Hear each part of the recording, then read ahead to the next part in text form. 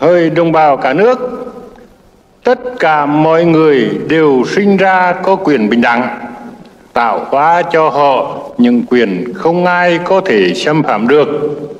Trong những quyền ấy có quyền được sống, quyền tự do và quyền mưu cầu hạnh phúc. Lời bất hủ ấy ở trong bản tuyên ngôn độc lập năm 1776 của nước Mỹ suy rộng ra, câu ấy có ý nghĩa là tất cả các dân tộc trên thế giới đều sinh ra bình đẳng. Dân tộc nào cũng có quyền sống, quyền sung sướng và quyền tự do.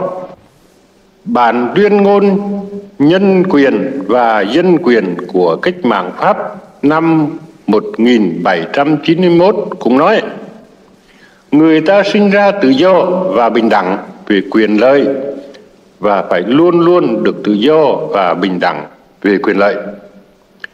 Đó là những lẽ phải không ai chối cãi được.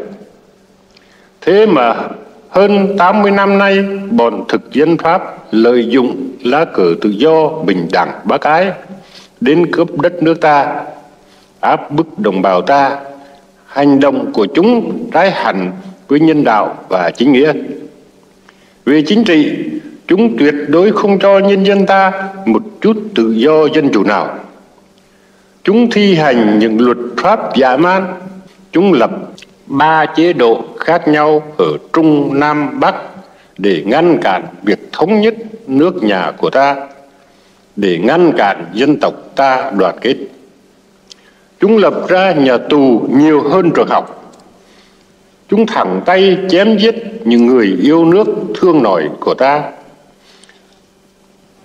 Chúng tắm các cuộc khởi nghĩa của ta trong những bể máu. Chúng ràng buộc dư luận, thi hành chính sách ngu dân. Chúng dùng thuốc phiện, rượu cồn để làm cho nội giống ta suy nhược. Về kinh tế, chúng bóc lột dân ta đến xương tủy, khiến cho dân ta nghèo nàn thiếu thốn, nước ta sơ xác tiêu điều. Chúng cướp không ruộng đất, hầm mỏ nguyên liệu. Chúng giữ độc quyền in dây bạc, xuất cảng và nhập cảng. Chúng đặt ra hàng trăm thứ thuế vô lý, làm cho dân ta, nhất là dân cày và dân buôn, trở nên bần cùng. Chúng không cho các nhà tư sản ta ngóc đầu lên. Chúng bóc lột công nhân ta một cách vô cùng tàn nhẫn. Mùa thu năm 1940, phát xít Nhật đến châm lăng Đông Dương để mở thêm căn cứ đánh đồng minh. Thì bọn thực dân Pháp quỳ gối đầu hàng, mở cửa nước ta rước Nhật. Từ đó, dân ta chịu hai tầng xiềng xích Pháp và Nhật. Từ đó dân ta cần cực khổ, nghèo nàn. Kết quả là cuối năm ngoái sang đầu năm nay từ Quảng Trị đến Bắc Kỳ hơn 2 triệu đồng bào ta bị chết đói. Ngày 9 tháng 3 năm nay, Nhật tước khí giới của quân đội Pháp. Bọn thực dân Pháp hoặc là bỏ chạy hoặc là đầu hàng.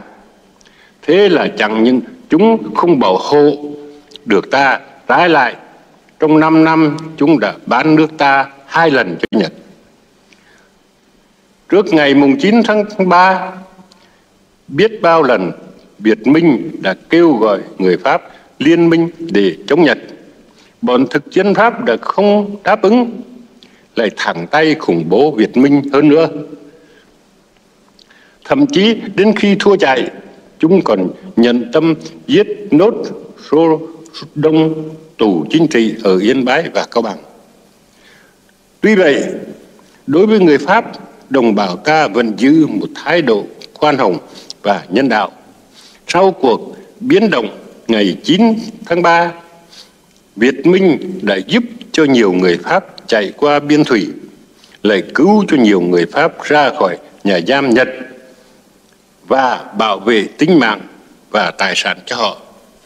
Sự thật là từ mùa thu năm 1940, nước ta đã thành thuộc địa của Nhật, chứ không phải thuộc địa của Pháp nữa. khi Nhật hàng đồng minh thì nhân dân cả nước ta đã nổi dậy giành chính quyền lập nên nước Việt Nam Dân Chủ Cộng Hòa.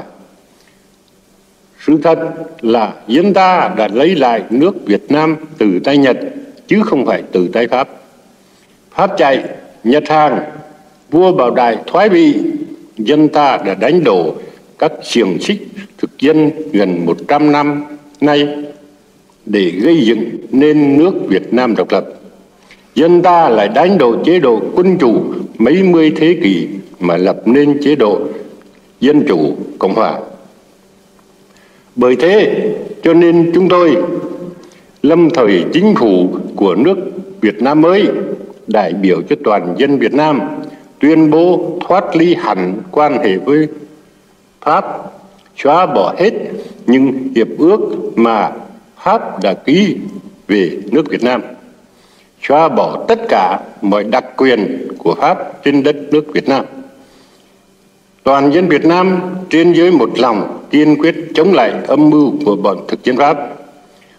Chúng tôi tin rằng các nước đồng minh đã công nhận những nguyên tắc dân tộc bình đẳng ở các hội nghị Tehran bà Cựu Kim Sơn quyết không thể không công nhận quyền độc lập của dân Việt Nam.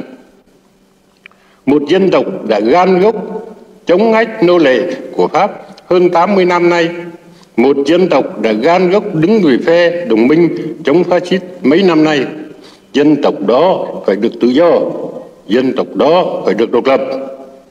Vì những lẽ trên, chúng tôi, chính phủ lâm thời của nước Việt Nam Dân Chủ Cộng Hòa, trinh trọng tuyên bố với thế giới rằng nước Việt Nam có quyền hưởng tự do và độc lập và sự thật đã thành một nước tự do độc lập.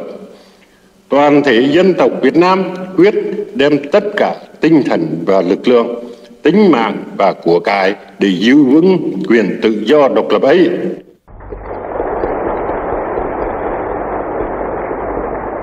Chúng tôi toàn thể dân Việt Nam xin thề kiên quyết một lòng ủng hộ chính phủ lâm thời Việt Nam Dân Chủ Cộng Hòa, ủng hộ Chủ tịch Hồ Chí Minh. Chúng tôi xin thề cùng chính phủ giữ quyền độc lập hoàn toàn cho tổ quốc, chống mọi mưu mô quân lược dù phải chết đến tâm lao nếu Pháp đến quân lược lần nữa, thì chúng tôi xin thề không đi lý cho pháp không làm việc cho pháp không bán lương được cho pháp không đưa đường cho pháp